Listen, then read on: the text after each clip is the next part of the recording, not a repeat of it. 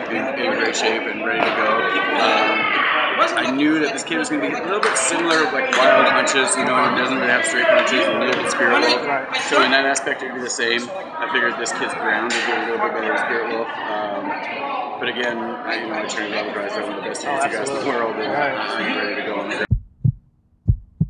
Uh, well, he's from Vegas, so I was able to get a little bit of inside scoop on few guys that trained with him and stuff like that. And uh, you know, he stepped up. I knew he'd be wily out there, but I still knew I'm a better fighter.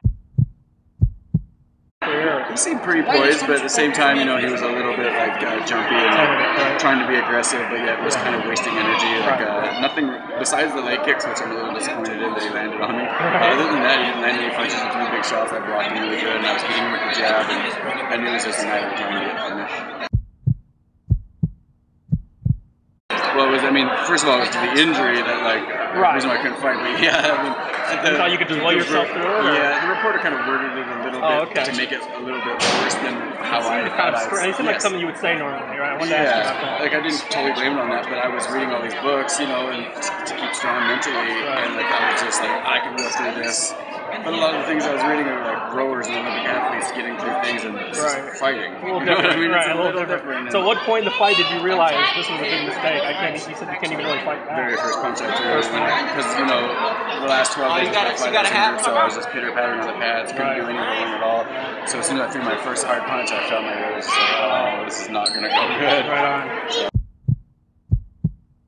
Uh, well, that, that, tonight was my last fight at 170. I'm dropping to I saw you said that on your Twitter. Yeah. Yeah, so to me, it's almost like starting a brand new career.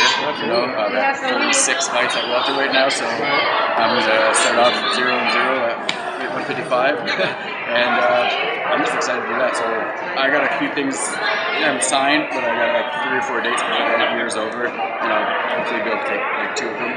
So get in there two more times before the year's over. It was awesome. You know, my, this is my son's first live fight. I see, Uh, that was that was a heartwarming embrace there before the ring. That was really Oh, cool. on my way out to the Yeah. ring, that was the most amazing thing I've ever felt, and that right there gave me so much more energy. Don't want to pry. What did he say to you? Can you, share that? or- like, he go, he was, it was awesome, man. He's like, Dad, this is yours. Go out there, you do your thing. Don't take nothing from him. You just keep hitting him and hitting him. You end this fight. This is your night. Don't, you know. I like, Absolutely. oh my God. Like, way you've yeah. pumped before. It was awesome. you Right know. on. It Well, congrats on awesome. the win, John. Thanks for Thank taking you. the time with us. Thank you very Look much. forward to seeing you again. Appreciate it.